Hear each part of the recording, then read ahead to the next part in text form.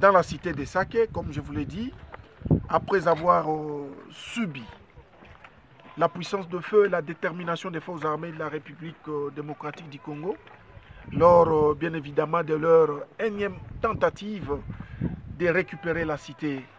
de Sake ce jeudi 22 février 2024, l'homme 23 bar RDF a dans sa fuite largué plusieurs bombes à l'aveuglette dans le quartier Mayuta, Mayuta 2, euh, dans la cité de Sake en territoire de Massissi. Alors, ces agissements terroristes qui ont ciblé des objectifs euh, civils en violation du droit international humanitaire ont causé la mort de deux enfants âgés respectivement de 7 à 8 ans et leur, et leur maman, causant encore d'autres blessés qui sont déjà pris en charge. Alors, au regard euh, de ce qui précède,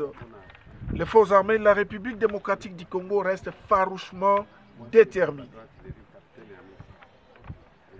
D'abord, à repousser l'ennemi, à récupérer toutes les localités occupées par euh, ces derniers,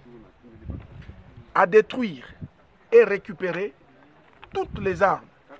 dotées à cet ennemi pour massacrer la population congolaise.